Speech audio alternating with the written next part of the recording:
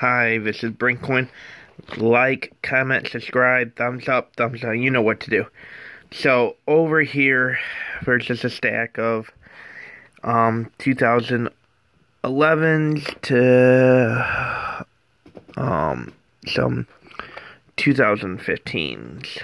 So that's what this stack is for. That's what I found in the last box. Um, I actually yeah, yeah, that's for your last box. And then, um, these I found weird. Um, little hole in there so you can make a neck chain or necklace. A regular 1971, you know, looks kind of shiny. Um, you know, this one looks more shinier. But then this one over here, like, you can even tell from the angle on my phone as I moved it the last couple times this one almost has like a proof finish to it. So, um, yeah, like these other ones don't have that type of luster and shine to it. Like, okay, but this almost looks like a proof. You know?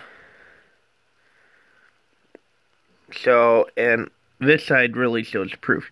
So, and actually, I can even do a better test right on the video with you. So, this is what I found, and I have some proofs on my own. So, let's go to a proof of the exact same year, 1971. And if you look at it, you see how it has that nice sign proof? That's a proof so I had two, but then if I go and look at it here, right here on top of it, there is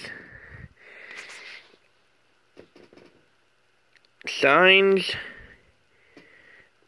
and it signs the same way. Even if you like hold the camera over it, it still has the same shining look over it.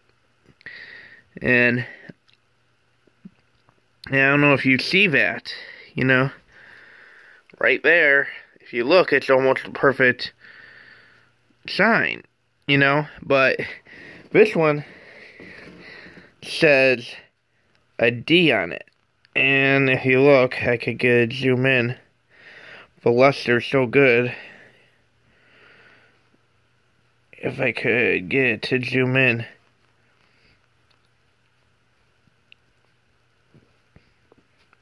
So it pretty much showed that it's a D. And I could, there we go. Look right there, you could see it's a D, and it's not a proof. But, clearly it looks like a proof, you know? The, all these are proofs that are in here, besides this one.